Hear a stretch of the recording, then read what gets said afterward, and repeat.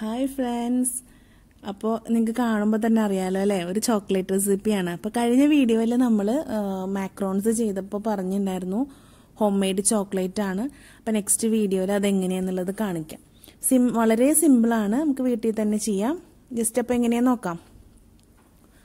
അപ്പം അതിനായിട്ട് നമ്മളുടെ ഇൻഗ്രീഡിയൻസിന് ഡയറക്റ്റായിട്ട് നമ്മൾ അരിപ്പയിലേക്കാണ് ഇട്ട് കൊടുക്കേണ്ടത്. അപ്പോൾ ഒരു അര കപ്പ് കൊക്കോ പൗഡറാണ് ഞാനിവിടെ ആദ്യം എടുത്തിട്ടുള്ളത്. നമുക്ക് അരിപ്പയിലേക്ക് ഇട്ട് കൊടുക്കണം. അതുപോലെ തന്നെ ഒരു മുക്കാൽ കപ്പോളം പൊടിച്ച പഞ്ചസാര അതും കൂടെ ഈ കൊക്കോ പൗഡറിന്റെ കൂടെ നമുക്ക് ചേർത്ത് കൊടുക്കാം.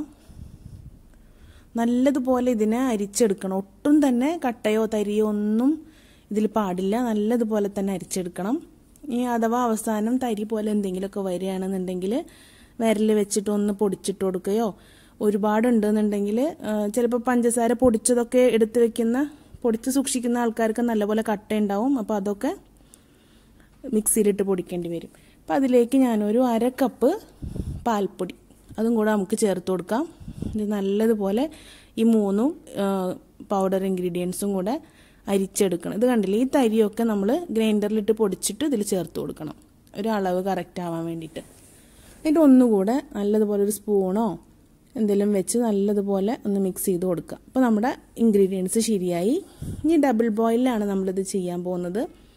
അപ്പം അതിനായിട്ട് അര കപ്പ് വെളിച്ചെണ്ണ.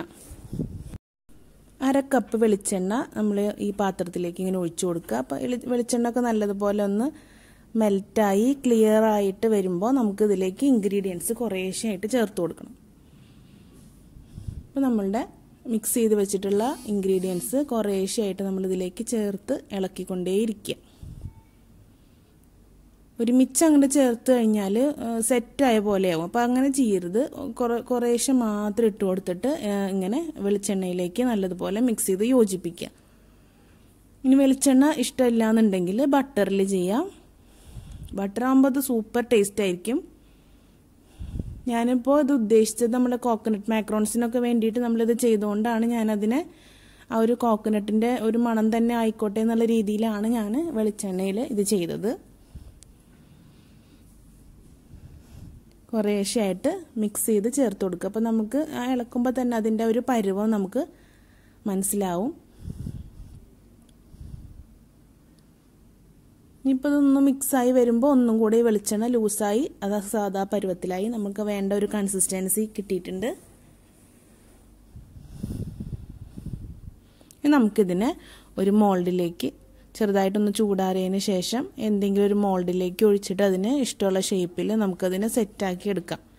ഞാനിവിടെ ഒരു സിലിക്കോൺ ഇതിലെ മോൾഡിലേക്കാണ് ഇതിങ്ങനെ ചേർത്ത് കൊടുക്കുന്നത്. ഇപ്പോൾ മോൾഡൊന്നും ഇല്ലയെന്നുണ്ടെങ്കിൽ നിങ്ങൾക്ക് ഇപ്പോൾ ഫുഡ് പാർസലൊക്കെ ചെയ്യുന്ന ഒരു ബോക്സിൽ ഒഴിച്ച് വെക്കാൻ ചൂടാറിയതിന് ശേഷം അപ്പം നമുക്കതിനെ ഒരു എന്താ കോമ്പൗണ്ട് ചോക്ലേറ്റ് ഒക്കെ പോലെ ആവശ്യത്തിന് എടുത്തിട്ട് കേക്കിലോ നമ്മുടെ പുഡിങ്ങിലൊക്കെ യൂസ് ചെയ്യാം.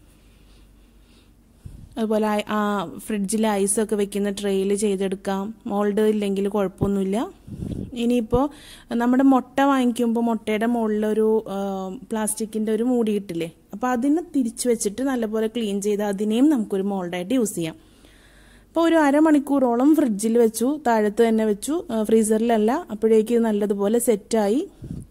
അപ്പോൾ നമുക്ക് ഡെക്കറേഷനൊക്കെ വേണ്ടിയിട്ടാണെങ്കിൽ ഇതുപോലെ നല്ല ഫ്ലവേഴ്സിന്റെ ഷേപ്പൊക്കെ ഉള്ള മോൾഡാകുമ്പോൾ നല്ലതുപോലെ നമുക്ക് ഒരു അറേഞ്ച് അറേഞ്ച്മെന്റിനും ഡെക്കറേഷനൊക്കെ വളരെ നല്ലതാണ്. വളരെ സിമ്പിളാണ് നമുക്ക് വീട്ടിൽ തന്നെ ചെയ്ത് സൂക്ഷിച്ചൊക്കെ വെക്കാവുന്നതാണ്. ഒരുപാട് ഡെസേർട്ടായിട്ടിൽ ചേർക്കാം.